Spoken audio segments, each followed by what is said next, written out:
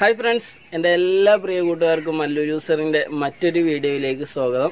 അപ്പോൾ ഇന്ന് നമ്മൾ വന്നിട്ടുള്ളത് മറ്റൊരു സിമ്പിൾ ആയിട്ടുള്ള നല്ല ഹെൽത്തി ആയിട്ടുള്ള നല്ല അടിപൊളിപ്പൻ ഒരു മിൽക്ക് ഷേക്കുമായിട്ടാണ് ഒരു combo milk shake thunder coconut ഇളനീനിന്റെയും ബട്ടറിന്റെയും ഒരു കോംബോ ആയിട്ടുള്ള മിൽക്ക് ഷേക്ക് എങ്ങനെ നമുക്ക് അടിക്കാൻ നോക്കാം? Welcome back to my new video it's me M J അപ്പോൾ നമ്മൾ അടിപൊളി കോംബോ മിൽക്ക് ഷേക്ക് തണ്ടർ കോക്കനറ്റിന്റെയും ബട്ടറിന്റെയും മിൽക്ക് ഷേക്കിന് വേണ്ടിയിട്ട് ഞാനിവിടെ ആദ്യം തന്നെ ഒരു ബട്ടർ അത്യാവശ്യം വലുപ്പമുള്ള നല്ല പൊഴുത്തൊരു ബട്ടർ എടുത്തിട്ടുണ്ട്.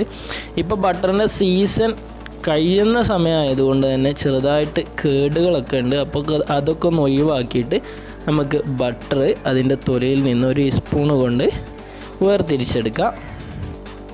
അപ്പോൾ ഇനി നമുക്ക് ഈ ബട്ടർ ഈ അവക്കാഡോ ആദ്യം ഒന്ന് മിക്സിയിൽ നല്ല പോലെ കട്ടിയിൽ അടിച്ചെടുക്കുക. അപ്പോൾ ഒരു ബട്ടർ പൂർണമായിട്ട് ഞാൻ ഇട്ടെടുത്തിട്ടുണ്ട് രണ്ട് ടീസ്പൂണ് ഷുഗറും അതിന്റെ കൂടെ തന്നെ മിൽക്ക് മേഡ് മിൽക്ക് മേഡിന്റെ മിൽക്ക് മിഠായിയുടെ കുറച്ചും ഞാൻ ഒഴിച്ചു കൊടുക്കുന്നുണ്ട്. ഇനി ഒരു പാക്ക് കട്ടപ്പാൽ ഐസ് പാൽ ഒരു പാക്ക് അത് ഉടച്ച് അത് നമ്മൾ ഇതിലേക്ക് ഇട്ട് കൊടുക്കുന്നുണ്ട്.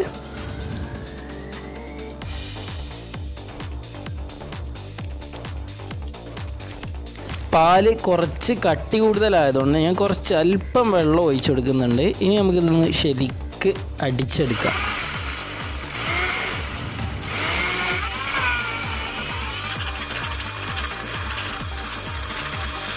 അപ്പോൾ ബട്ടർ ഇവിടെ അടിച്ച് റെഡി ആയിട്ടുണ്ട്. നല്ല ഗ്രീൻ കളറിലില്ല നല്ല അടിപൊളി butter milk shake avocado milk shake ഇവിടെ റെഡിയാണ് ഇനി അടുത്തത് നമുക്ക് തണ്ടർ കോക്കനറ്റ് ഇളനീര്. ഫ്രോസൺ ചെയ്തിട്ടുള്ള തണ്ടർ കോക്കനറ്റാണ് ഞാൻ എടുത്തിട്ടുള്ളത്. നാടൻ തന്നെയാണ് ഞാൻ ഫ്രോസൺ ചെയ്തു എന്ന് മാത്രം ഒരു കട്ടി കിട്ടാൻ വേണ്ടിയിട്ട്. അപ്പോൾ അത് നമുക്ക് അടിച്ചെടുക്കുക. രണ്ട് സ്പൂണ് ഷുഗർ അതിലേക്ക് നമ്മുടെ തണ്ടർ കോക്കനറ്റ് ചെറിയ പീസാക്കി അരിഞ്ഞത്. അതിലേക്ക് ഒരു നാല് ഏലക്ക ഇളനീറിന് വെള്ളം ഇല്ലെങ്കിലും കുഴപ്പമില്ല ഒരു നൂറ് എം എൽ അത് ഒഴിച്ചു കൊടുക്കുക. ഇനി അതിലേക്ക് ഐസ് പാൽ കട്ടപ്പാൽ അതും ഉടച്ചിട്ട് ഇട്ട് കൊടുക്കുക. ഇതിലേക്ക് വെള്ളം ഒഴിക്കണ്ട കാരണം നമ്മൾ ഇളനീരിന്റെ വെള്ളമുണ്ട്.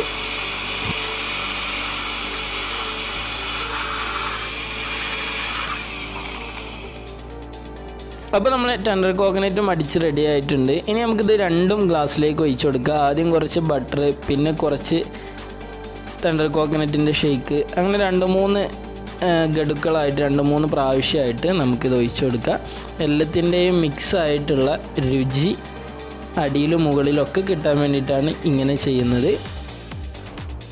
ഇനി നമുക്കിതിന്റെ മുകളിൽ കുറച്ച് ഹണിയൊക്കെ ഒഴിച്ച് നല്ല അടിപൊളിപ്പനാക്കിയിട്ട് എടുക്കാം. അപ്പോൾ നിങ്ങൾക്ക് എല്ലാവർക്കും ഇന്നത്തെ വീഡിയോ ഇഷ്ടമായി എന്ന് ഞാൻ കരുതുന്നു. ഇഷ്ടമായി എന്നുണ്ടെങ്കിൽ വീഡിയോ മറക്കാതെ ലൈക്ക് ചെയ്യുക. നിങ്ങളുടെ അഭിപ്രായങ്ങൾ കമന്റായിട്ട് രേഖപ്പെടുത്തുക. കൂടെ കാണുന്ന സബ്സ്ക്രൈബ് ബട്ടൺ ഒന്ന് എനേബിൾ ചെയ്യുക. ഞാൻ എന്നും ചെയ്യുന്ന എല്ലാ വീഡിയോസും നിങ്ങൾക്ക് നോട്ടിഫിക്കേഷൻ ലഭിക്കാൻ കൂടെ കാണുന്ന ബെല്ലൈക്കൺ കൂടി ഒന്ന് ക്ലിക്ക് ചെയ്യുക. അപ്പോൾ വീണ്ടും കാണുന്നത് വരെ it's me M J goodbye